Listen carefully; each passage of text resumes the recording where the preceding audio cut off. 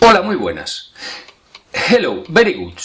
He tenido acceso a la grabación de la conversación que tuvo lugar entre el ministro Bert y su homónimo británico, el señor Vincent Cable, eh, que me ha facilitado una abogada amiga mía que estuvo allí y que es amiga de una abogada que estuvo también presente en la declaración de la infanta Cristina en el juzgado de Palma, que son muy amigas. Eh, esta amiga mía, mm, abogada británica, me ha pasado, perdón, la grabación de esa conversación y no sé si es falsa o no, pero a mí me da igual. Eh, voy a contar lo que, les, eh, lo, que, lo que se reproducía en esa conversación porque creo que es muy interesante. Esa conversación, por cierto, de esa entrevista que el Ministerio de Cultura eh, del, que preside el ministro Bert solicitó 11 días antes de la, de la celebración de la gala de los premios Goya, esa gala tan entretenida, por otro lado, tan simpática, tan divertida y tan dinámica.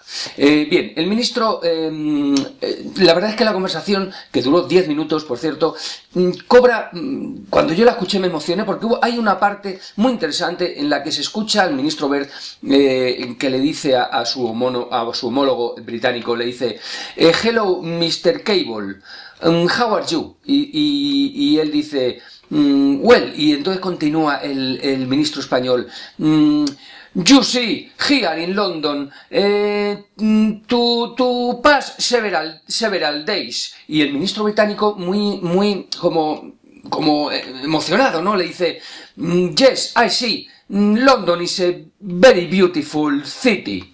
Eh, there is many people, there is many shops. The London Tower, de Big Ben and the Madame Tussauds Museum. Y mm, el, ministro Bert contesta también como entusiasmado, ¿no? Cuando, viendo que, se está tomando interés el, ministro británico, eh, le, dice...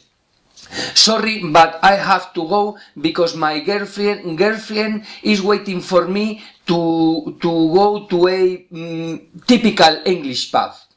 Y entonces eh, se fue y, eso, esa, esa, parte la verdad es que es muy interesante. O sea que se entiende que el ministro se tuviera que ir allí. Em, vamos a hablar ahora, perdón que es que tengo Carrasper.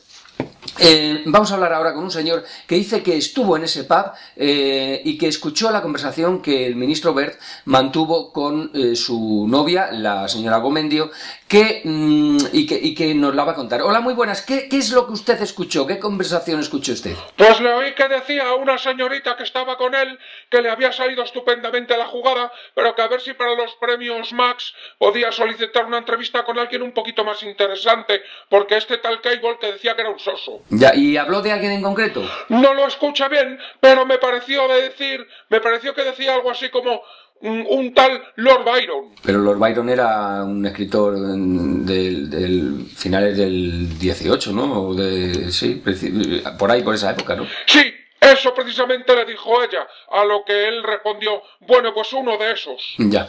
Bueno, pues muchísimas gracias y a mí ya para despedirme no me queda nada más que decir adiós, pero para ello quiero dejar un bonito poema, mm, bueno, un trocito de un poema de Jorge Luis Borges y dedicárselo al ministro de Cultura, al ministro Bert. Voy a poner las gafas, no porque las necesite, sino porque me han dicho que me sientan bien y yo soy muy presumido. Para leerlo, eh, porque no quiero que se me olvide, dice... ¿En qué hondonada esconderé mi alma para que no vea tu ausencia, que como un sol terrible sin ocaso brilla definitiva y despiadada? Tu ausencia me rodea como la cuerda a la garganta, el mar al que se hunde.